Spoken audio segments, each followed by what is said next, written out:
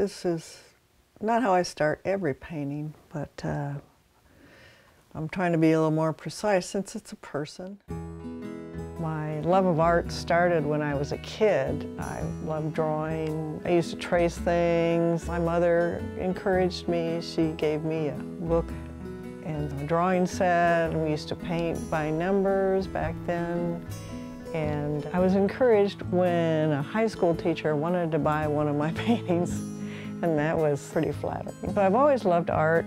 I took art in college, that was my major. Even though I was in the oil business for 25 years, I wanted to get back into art, and I got my chance in 1999. Start kind of thin, and then I'll uh, get a little thicker later on. My favorite type of painting is landscape because I've always loved looking at the landscape. I love capturing that. I like the challenge of trying to capture what it is about the scene that makes me react to it. Try to convey that in paint. When I moved to Oklahoma, I didn't really appreciate the vast prairies and that sort of thing, but now I love the prairies and I love painting grasslands or fields of flowers. My painting is based on three different types of things. One is I paint from life. I'll go outside and paint, but also paint from still life setups here in the studio.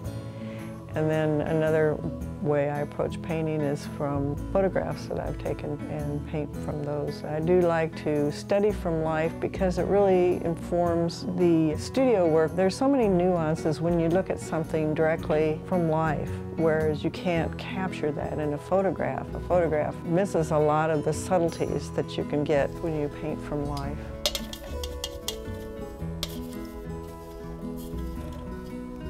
One thing I like about being an artist is the artistic community. I've really enjoyed getting to know other artists. It's a really widespread group and there's so many different people doing so many different types of art. I've really gotten to know so many artists, not only locally but nationally. Art has opened up my world, for one thing.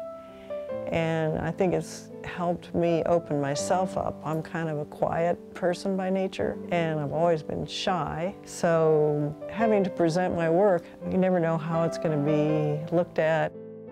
Unfortunately, my parents both died before I began painting, but they were very encouraging of me in my pursuit of art in college. And uh, you know, my mother had always encouraged me anyways, so I know she'd be proud of me now to see what I've accomplished.